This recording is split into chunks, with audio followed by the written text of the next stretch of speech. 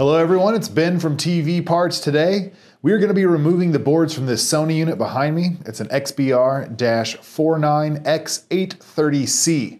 If you have any questions or need to order any parts, you can give us a call at 1-800-203-7484 and let's get into it.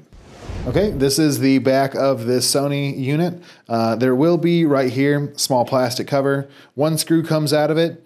Uh, you should be able to slide the plastic panel off of the uh, cord that goes to the wall socket, and then there is just one clip on the power supply board. Use your thumb to clip down on it, it comes right out, and then that'll be away. After that, you want to get all the screws around the outside taken off, as well as the screws here lining the main board, and we should be able to lift this back up and away from the chassis. So let's get started.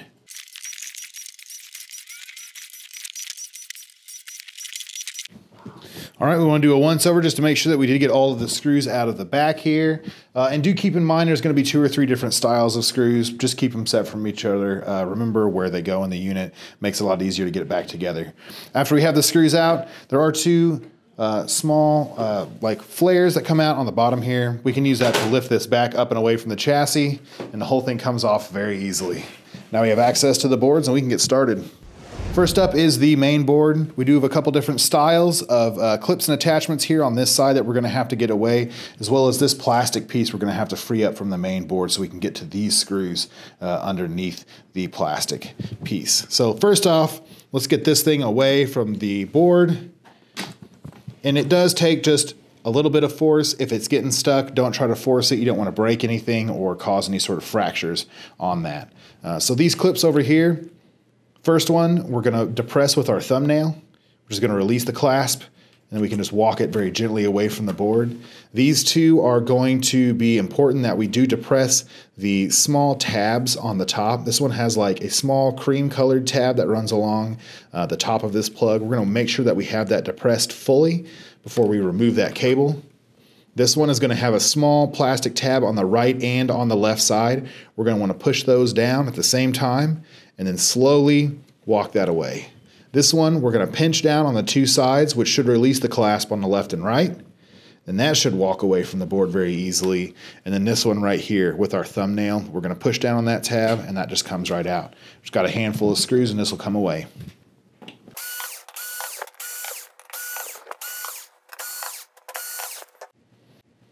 Yeah, it does feel like there is a little bit of adhesive underneath keeping this attached to the chassis. A little bit of force, not too much, and it comes right away. That's our main board.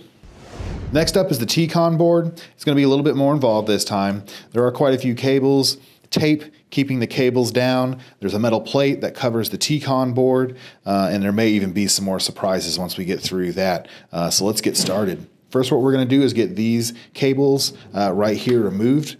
This one right here, we're going to depress this little lever right here, and it just slides right away from the board, no problem there. This one's going to have two plugs on the right and left side that we're going to want to depress, and they should just walk right out of there. Just feel like this one's got a little bit more resistance in it. We just want to be patient, not forcing it or causing any damage to it, preferably. So what we're going to do first is get this plastic piece off uh, with this uh, Wi-Fi board. We're just going to get this away so that we got a little bit more room to deal with. And I believe these screws are actually keeping uh, this metal plating down as well.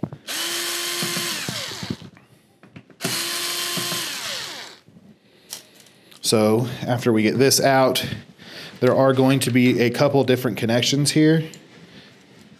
This guy right here, we're just going to pop it up. Comes away, no problem. This clip we're going to depress with our thumbnail should just slide right away from that board. And if we flip it over, there's one more. It actually goes to the IR sensor. Same thing. Depress it with your fingernail, and it should just come right out of there. We'll set this off to the side for now. We're going to get some of this tape out of the way. Just gently remove it so we can get these wires out. Also, this sticky guy over here.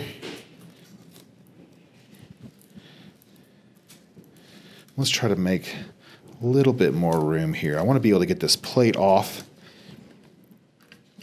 So let's go ahead. One last piece of tape here. You can take all this cabling and just lay it off to the side. There we go. And we do want to remember where this stuff is. If it helps you, snap a quick picture of it so you can easily reference it to figure out where everything goes back into this unit. Okay, so let's get these larger screws out with the screw gun. It does appear that we've got two different kinds of screws on this metal plate. The black screws here are gonna be just fine for a large screwdriver or a screw gun. Set those off to the side. Now we're gonna use our number one Phillips head screwdriver. We just wanna make sure that we're not gonna be damaging any of these, so do be gentle with them, take your time.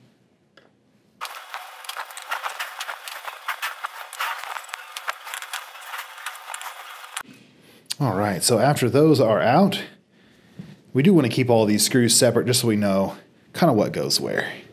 This metal plate should lift up and out, and it looks like it's taken the T-con with it, which we have a couple more pieces to remove from that T-con before we are fully away from the chassis. So you don't want to pull that up too much because you don't want to damage these ribbon cables or any of these plugs. We want to get our fingernail up underneath it, which pops the flaps up, we should just be able to lift those right up and out. Now we have our T-Con free. We could move on to the next board. Moving on to the power supply board, this one's gonna be pretty simple. Got three clips right here that we have to remove first. This one is just gonna be depressing with your thumb, which releases the latch, comes right away.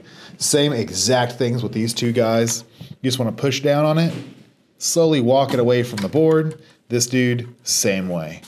Push down on the clip, comes right out. Now we just got four screws and we should be just about finished here. And that's the power supply board. Pretty easy stuff. All right, that's gonna do it for this Sony unit today. If you have any questions, you can leave them down below in the comments section. Don't forget to like the video, subscribe to the YouTube channel. If you do subscribe, you'll qualify for 20% off through TV Parts Today. And we will see you next time. Thank you for watching another TV Parts Today repair video. If you have a question regarding your TV repair, post a comment and we will try to help.